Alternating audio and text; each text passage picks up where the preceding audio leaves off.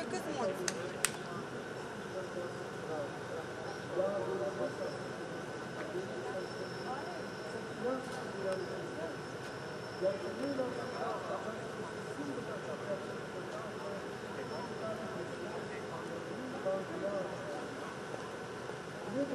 Thank you. Doar rugăciunile preoților se aud aici în curtea Patriarhiei Cristina, pentru că în rest este liniște de plină, nu este picior de om aici.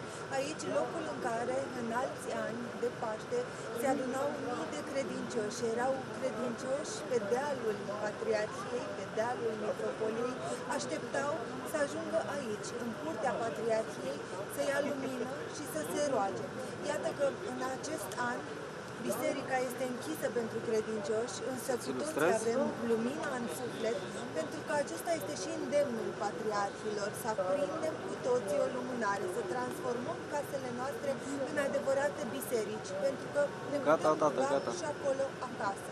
Acasă în tihnă, chiar dacă astăzi nu sunt aici cu toții în curtea Patriarhiei.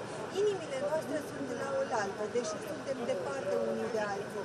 Rugăciunile preoților, rugăciunea prea fericitului Daniel este către poporul român îndreptată în acest moment.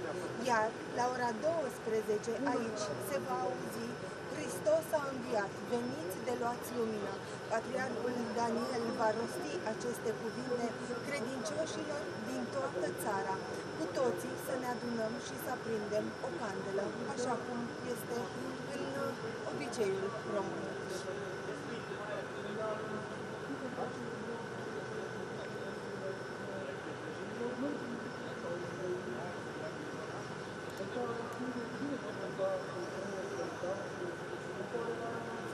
M-ai scos pe mine?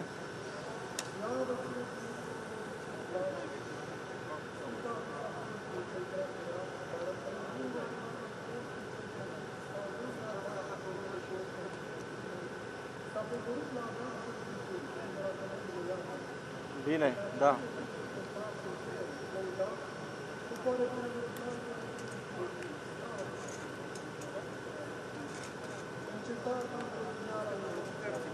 Mai sunt? Nu cred. Dar a zis, Da? a zis că vrea să revină la tine. Ah,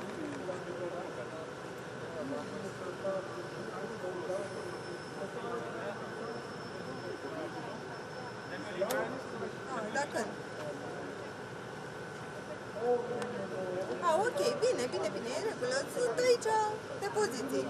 Da. Ia zi. Au început. Au început, da, da, da, da. Bine, cum vrei tu, dacă vrei, eu stau aici, nu-i problemă. Da. Bine, ok, hai.